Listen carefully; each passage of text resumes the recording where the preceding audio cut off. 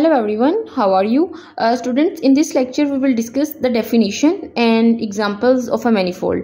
Uh, students it is very difficult to define manifold uh, accurately but now we will use its property and we will try to define it okay?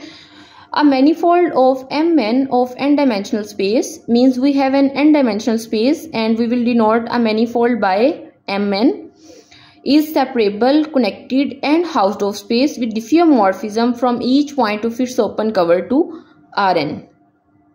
Now students, actually these are the terminologies from our topological spaces means separable, connected and Hausdorff space and first of all we will define it and uh, next we will see that how these terminologies will work for us in the definition of a manifold. Separable space a topological space is said to be separable if it contains a countable subset of S that is dense in S.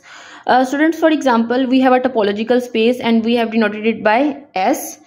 And if it contains a countable dense subset, for example, in a real line, we know that the set of rational numbers that we will denote by Q and uh, q is countable means the set of rational numbers is countable and it is also dense in the set of real numbers so we will say that R is uh, actually separable space. In, the in, in a similar way, we have a definition of a Hausdorff space.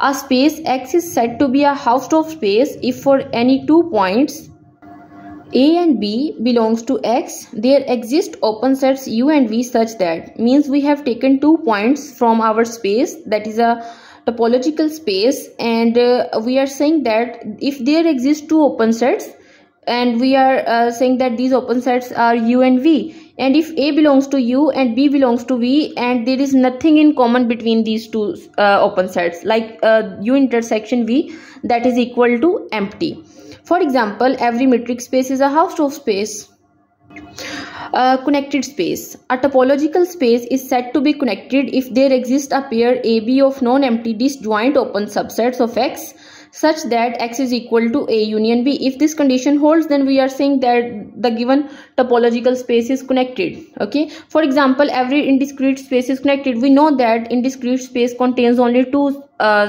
sets like only an empty set and the set x itself. In a similar way, we have a definition of a diffeomorphism. We know that in the definition of isomorphism, um, we have a mapping uh, that is 1 1 and onto and uh, in the definition of a homeomorphism we have the same mapping. And uh, it should also be a continuous means it is 1 1 onto and continuous.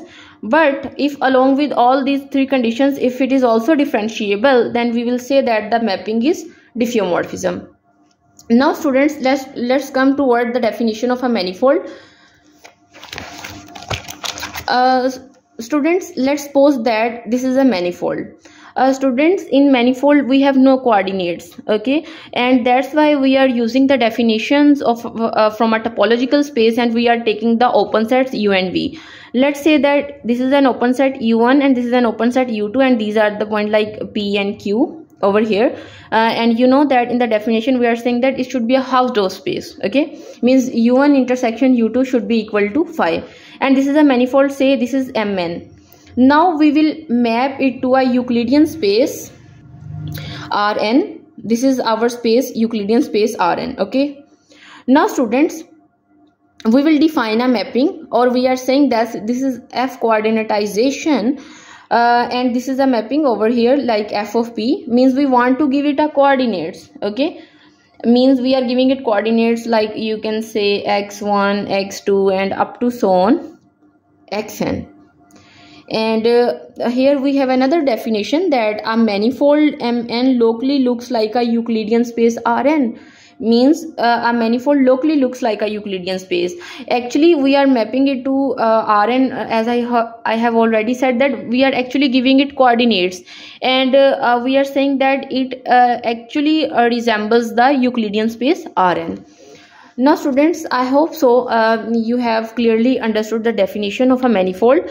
Now let us discuss its examples but I will discuss all the examples in the next video and thank you so much.